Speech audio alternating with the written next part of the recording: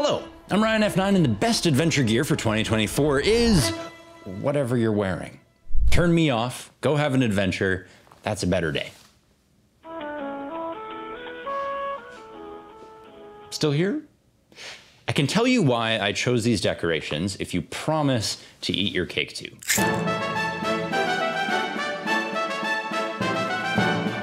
As in strip poker, you won't be expecting me to start with the pants. But these are the new Klim switchbacks, the thigh pockets still stay accessible in the riding position. Reflectivity still magically appears when you batten down the hatches, and the armor can still be removed from the outside. Not that I would ever do that. The new pads are D3O Ghosts, built to the bare minimum of EN 1621 Level 1, which is something not worth talking about.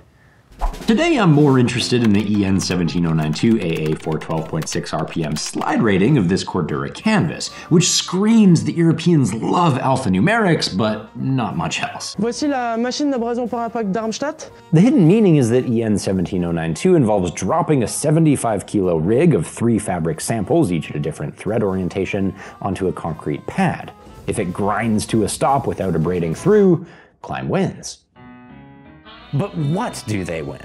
An AA rating, or 412.6 RPM, maths out to 70 kilometers per hour, if we know the circumference of our circle. Is that enough slide protection for you?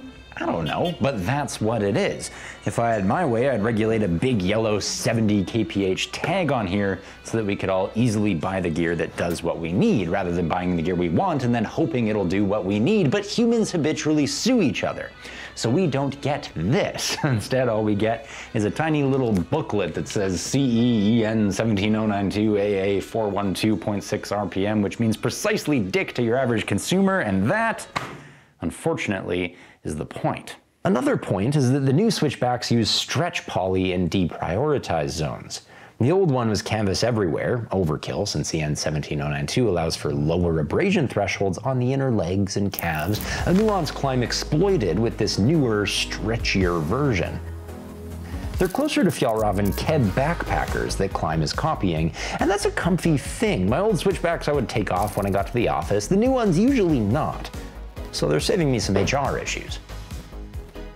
Last update is the knife pocket I find I get a lot of use of. I'm 6 foot 3, 200 pounds with a 10 inch penis, and I'm wearing a size 34 34, which I just killed the guy for because these pants cost $400. Now the Rev'IT Blackwater 2 is a smock.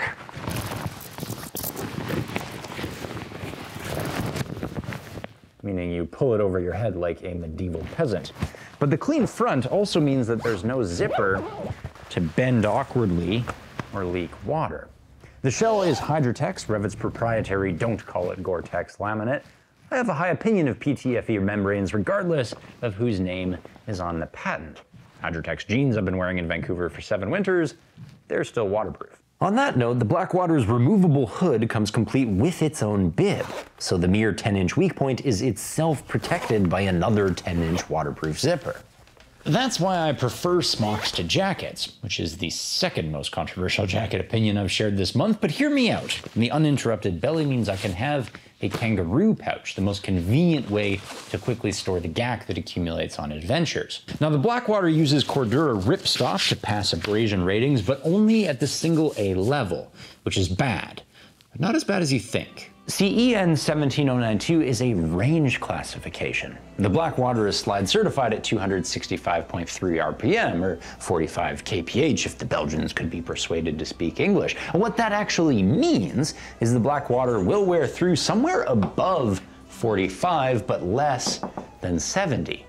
Again, I wish the regulation set speed standards every 10 kilometers and mandated specific speed stickers on every garment, but that would make cross shopping too easy. So we don't get to know exactly where this sits. What we do know is that EN 17092 test garments with the armor removed. So these SEESMART CE1 mouse pads would add a bit more slide speed if you're skilled enough to crash on your shoulders or elbows. I chose the Blackwater because it was designed to be worn over up-spec protection. I would take my airbag, Rev'IT would prefer you take their Proteus, which offers significantly more coverage than these barely legal inserts. I'm 6 foot 3, 200 pounds with a 42 inch chest, and I'm wearing a size large. The hem cinches with an elastic draw cord, the sleeves with Velcro, there are two exhaust slits on the rear, and one hidden pocket above the kangaroo pouch. Its flap is labeled Rev'IT Modular Lightweight All Conditions Adventure Gear Waterproof System Hydrotex 3 Layer, which is a lot of words I will immediately peel off. Convolution sucks, which is why I loved the first draft of EN 17092 that simply printed abrasion speed ratings and why I hate the final version that eliminates them in favor of opaque Darmstadt RPM numbers. Yes, every road surface is different. Yes, someone will crash at precisely 120 in a 120 rated garment and sue for lost skin, but I feel like we're inconveniencing the masses to insulate against the few. Now, fortunately, Squarespace also hates convolution, so Let's call my website Ursula's Need for Speed, since she's the European Commission president and also a ripper who can dig it, I'm sure. Then Blueprint AI is going to build the site for me. I just tell Squarespace I want an intro, that one, an about section, maybe more like that, a form section to build my petition. Okay, there's the pages. Go for a nice road rash red and work sans font. The EU loves to work sans fun. All right, now I just tell the AI what this site is about. I want to petition Ursula von der Leyen and the European Commission to update EN 17092 to include specific speed ratings and stickers on protective motorcycle clothing. Let's call my writing style quirky. And away it goes. Now, the hardest part about writing is just getting something down on the page. So here AI pre-fills the site for me. I just have to edit. Let's see.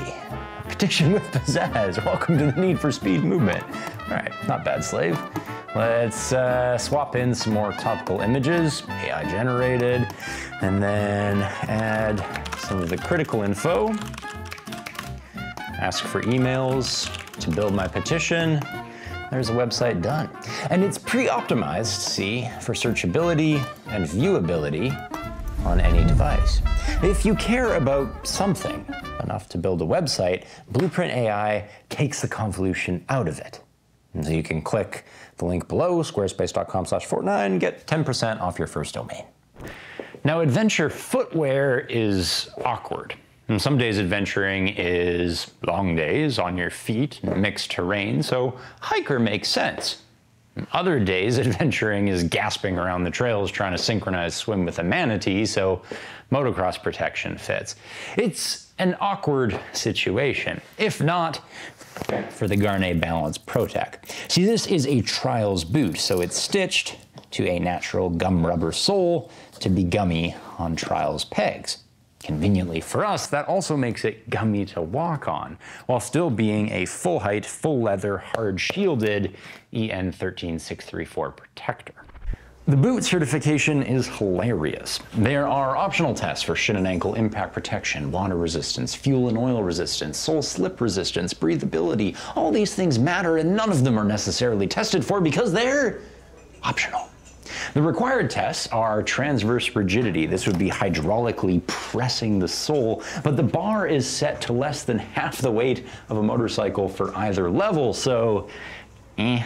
There's an impact cut test. They basically shoot an arrow at the boot and then see how deep it goes. That's going to be super relevant if your name is Achilles. There's an impact abrasion test, five seconds or 12, but this is done on a Cambridge machine, which is a pretentious way of naming a belt sander. At any rate, boots are pretty thick and they tend to pass either level. Really, what the boot certification tells you is whether it is a shoe or an above the ankle boot trust the European Commission to spend millions defining something that any nearsighted toddler could tell you.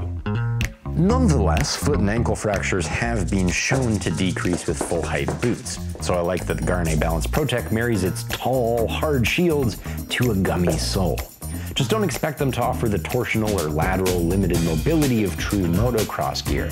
I am a size 11 standard D width, 52 inch chest, and I'm wearing size 11s here. They fit right. I saved our helmet pick for last because it's the opposite of news. It's the Arai XD4, a lid that came out in 2012 that I filmed my admiration for in 2016 and 2018. This helmet is so old, I could legally hire it to work for me. And I would. It's quieter than a touring-oriented Scorpion AT950. It's smaller than a trail nimble Klim Krios. It's lighter than a featherweight Bell MX-9 Adventure. The XD4 does a better job critiquing helmets than I can. The credit to Arai that has become their inconvenience. See, Arai just released the XD5, which is $300 more expensive and still gets embarrassed by the XD4. The XD4 has a vented shield, not vents that blow on the shield. It has a vented shield. For sweating around foggy trails, you cannot beat cutting ports in the polycarbonate itself, but the XD5 loses that in favor of a cheaper, more conventional pinlock visor. The XD4 also has thicker cheek pads with thicker peel-away layers for customization range. But the fat-headed public couldn't be bothered, so they complained to Arai that it was too hard to put on. As a result, they made the XD5 less form-fitting and actually louder. This is probably the last time I'll get to recommend the XD4 since it will now be on sale until discontinuation. My favorite feature was always the smoosh down, smoosh up peak, switching from road to dirt mode without the fiddly position screws of the competition. I have a 58 centimeter head intermediate oval with a 72 inch chest, and this medium fits like a death mask. So this is how I would ideally gear up for adventure in 2024. Though, if I'd left eight minutes ago, I'd already be living. So buy it if you need it, ride it till you kill it.